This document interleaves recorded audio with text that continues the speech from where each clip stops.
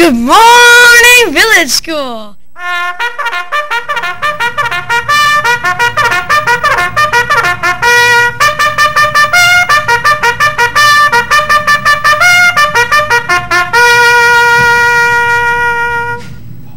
Good morning, Village School, and welcome to the first June edition of VES News. Your newscasters are Matt from Mrs. Steele's class. And Nastia from Mrs. Steele's class.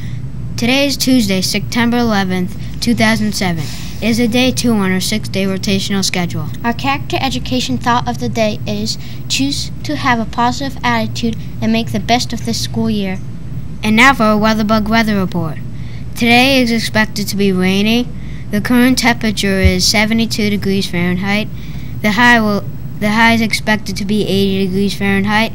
The low this evening will be 58 degrees Fahrenheit. Tomorrow will be expected to be mostly sunny.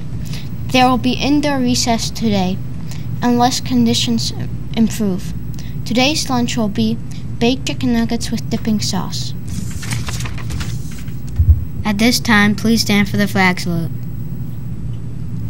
I pledge allegiance to the flag of the United States of America and to the republic for which it stands, one nation, under God, indivisible, with liberty and justice for all.